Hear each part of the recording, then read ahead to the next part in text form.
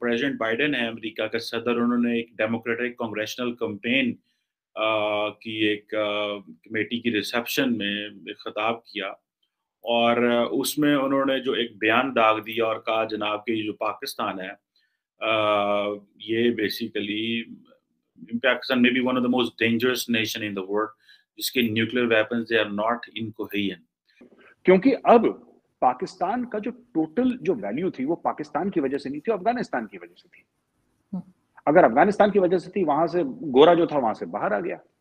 अब गोरा वहाँ से बाहर आ गया तो गोरा कहता हमें क्या लेना पाकिस्तान में कुछ भी हो? लेकिन इंडिया का इतना ज़्यादा असर वसूख है कि अमेरिका के अंदर कि वो उनके एक जो इंस्टीट्यूशनल ऑपरेटर्स है उसके अंदर उनकी पेनेट्रेशन है। पाकिस्तान की वो कोई पेनेट्रेशन नहीं है पाकिस्तान को वो समझती कुछ नहीं है। क्योंकि पाकिस्तान इन इटसेल्फ ये मैं अमेरिका का थॉट प्रोसेस बता रहा हूँ हम्म। अपना नहीं। Pakistan in itself is not important उनको पाकिस्तान से कोई लेना देना नहीं। आपको जो मर्ज़ी करनी है आप खेल कूद करिए। उनको कोई फ़र्क नहीं पड़ता। जब तक उनको अफ़गानिस्तान ना जाना। हो फिर वो पाकिस्तान से बोलेंगे अच्छा चलो दस बिलियन डॉलर ले लो। फिर पाकिस्तानी कहेंगे वो हमारे तो रिश्ते बड़े अच्छे हो गए अमरीका के साथ। यही है। तो अभी तो पाकिस्तान की जो लीडरशिप है उसकी वो फुर्तियाँ अभी ख़त्म ही नहीं हुई थी। ये कहते हुए कि अमेरिका और पाकिस्तान के ताल्लुक ठीक हो गए हैं कि जो प्रेसिडेंट बाइडेन है अमेरिका का सदर उन्होंने एक डेमोक्रेटिक कांग्रेशनल कैंपेन की एक कमेटी की रिसेप्शन में खिताब किया और उसमें उन्होंने जो एक बयान दाग दिया और कहा जनाब कि जो पाकिस्तान है आ, ये basically Pakistan may be one of the most dangerous nation in the world जिसके nuclear weapons they are not incoherent अच्छा मज़े की बात ये है कि ये जो स्टेटमेंट है कि that Pakistan is world's most dangerous nation ठीक है जी? इसके जो न्यूक्लियर वेपन्स हैं विदाउट एनी कोहेरियन है ये statement statement statement international atomic energy agency की तरफ़ से नहीं आती। ये स्टेटमेंट यूएस डिफेंस डिपार्टमेंट की तरफ़ से नहीं आती। ये स्टेटमेंट स्टेटमेंट स्टेट डिपार्टमेंट की तरफ़ से नहीं आती। यानी कि जो ब्यूरोक्रेटिक हैरारकी होती है, जो एक्चुअली इन चीज़ों को जानते हैं और अगर मैं चला जाऊँ थोड़ा अर्सा पीछे कि स्टेट डिपार्टमेंट जो आई है इंटरनेशनल अटोमिक एनर्जी एजेंसी है उसने बड़ी तारीफ़ की पाकिस्तान के न्यूक्लियर वेपन्स की सेफ्टी एंड सिक्योरिटी के हवाले से। uh, मेरी खुद भी जो रिसर्च है मास्टर्स की that is on nuclear non proliferation तो मुझे थोड़ा सा इस पे अंडरस्टैंडिंग है कि what goes around what comes around कि क्या खाता होता क्या है मतलब ये चलता क्या है इसमें।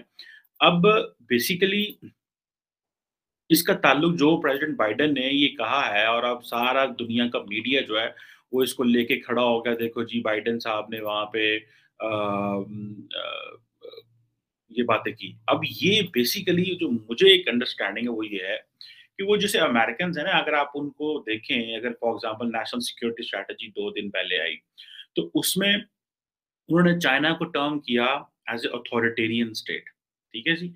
अब प्रॉब्लम यह है कि पाकिस्तान है तो डेमोक्रेसी लेकिन Pakistan stands with stands out with authoritarian states हम इकोनॉमिकली वीक हैं फाइनेंशियली डिपेंड सऊदी अरेबिया ने आज ही खबर आई है ताजी खबर है कि 400 मिलियन डॉलर यूक्रेन को दिए ह्यूमैनिटेरियन एड और पाकिस्तान में सब सब चूरन खिलाते हैं मुसलमान भाई मुसलमान भाई मुसलमान यूक्रेन तो मुसलमान नहीं है।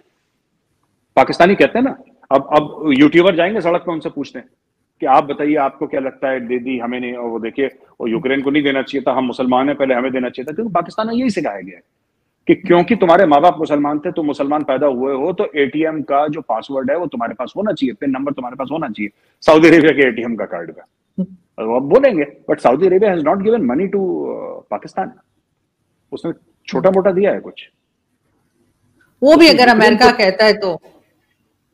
मैं कह रहा हूँ जिसने भी मर्ज़ी मैं कह रहा हूँ ये यूक्रेन हम्म। को भी उसने यूक्रेन को भी अमेरिका के कहने पर ही दिया होगा मैं मना नहीं कर हम्म। रहा। मैं मना नहीं कर रहा।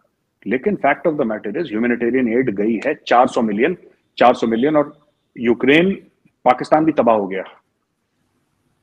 30 अरब 40 अरब तो लोग ऐसी बात कर रहे हैं। मैं आपको बता रहा हूँ जब तक ये पूरा पानी आएगा और पूरा जब आप लोग छह महीने आपको लगेंगे अभी असेस करने में कि डैमेज कितना हुआ है। ये सत्तर अस्सी, सौ अरब से कम का डैमेज नहीं है जो पाकिस्तान में हुआ है। बहुत ज़्यादा डैमेज है, ये ऐसा डैमेज नहीं है जो लोग ऐसी हवा में चूरन खिला देते हैं। फैक्ट ऑफ़ द मैटर दुनिया अब पाकिस्तान को पैसे देने को तैयार नहीं है। और एक जमाना था जब पाकिस्तान को कंटेनर भर के डॉलर आते थे। आज क्यों नहीं देना पैसे तैयार? है आप ये पूछिए। आप ये पूछना चाहिए अपने आप को क्यों? क्योंकि अब पाकिस्तान का जो टोटल जो वैल्यू थी वो पाकिस्तान की वजह से नहीं थी, अफ़गानिस्तान की वजह से थी। अगर अफ़गानिस्तान की वजह से थी, वहाँ से गोरा जो था, वहाँ से बाहर आ गया। अब गोरा वहाँ से बाहर आ गया तो गोरा कहता, हमें क्या लेना देना पाकिस्तान में, कुछ भी हो? मगर ऐसा नहीं हो सकता कि गोरा बाहर चला गया तो अब वो कुछ नहीं करेगा। अफ़गानिस्तान में वो अभी भी कुछ ना कुछ करते रहेंगे।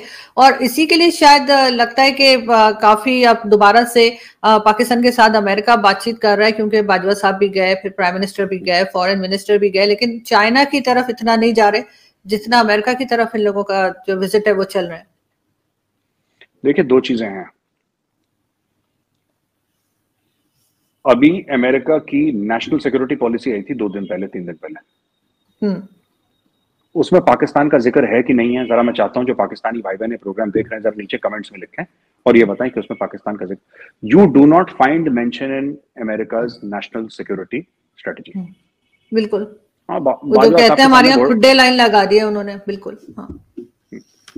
तो वो ठीक है जर्मनी वाले लोगों ने ये बोल दिया कश्मीर के बारे में।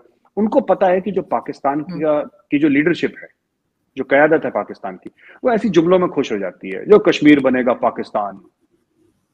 और कश्मीरियों से नाता क्या ला ला बस एक दो डायलॉग मार दिया सब लोग खुश बांग्ला शंकर डाल दिया national security strategy of America जिससे दुनिया की नेशनल सिक्योरिटी डिफाइन होगी। एक आर्किटेक्चर डिफाइन होगा। ग्लोबल साउथ डिफाइन होगा जिसमें पाकिस्तान भी आता है भारत भी आता है। ठीक है? जिसमें कि इंडो पैसिफिक डिफाइन हो रहा है जिसमें एक नया वर्ल्ड ऑर्डर डिफाइन हो रहा है।